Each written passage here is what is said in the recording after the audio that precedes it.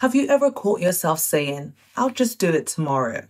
Yeah, we've all been there. But what if I told you that procrastination isn't just about being lazy? It's actually a survival tactic your brain uses. And more importantly, there's a way to beat it backed up by science. Stay with me for the next few minutes because by the end of this video, you're going to know exactly how to stop procrastinating for good. Hey everyone, I'm Shar and you are locked into Mogul Magazine. Today we are talking about how to stop procrastinating. First things first, procrastination isn't your fault. According to research, it's about the brain's wiring. Our brains are hardwired to avoid discomfort. And when tasks feels overwhelming or boring, the brain's immediate reaction is to avoid it. Cue procrastination.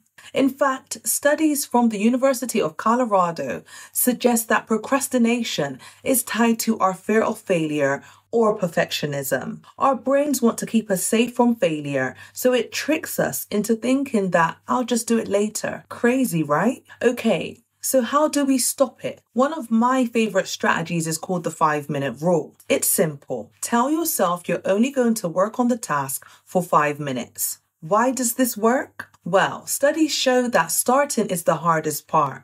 Once you get into it, you're way more likely to keep going. I do this every time I feel overwhelmed. I tell myself just five minutes. And guess what? I usually end up working for 30 minutes or even an hour. It's all about tricking your brain into thinking it's not a big deal. Break tasks down. Break big tasks down into smaller, more manageable chunks. Psychologists call this chunking.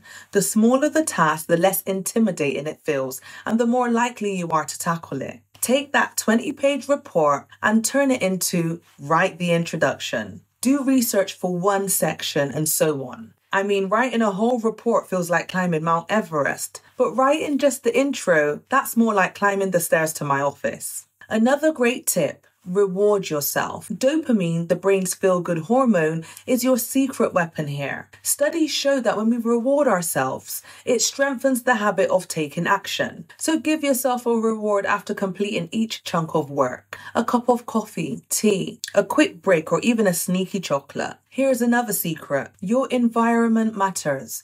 A messy workspace or too many distractions can kill your focus. And let's talk about accountability. Share your goals with a friend or coworker and set a deadline. A study from the American Psychological Association found that people are 65% more likely to achieve a goal if they share it with someone else. And that number jumps to 95% when you have regular check ins with an accountability partner. So, who's your accountability partner?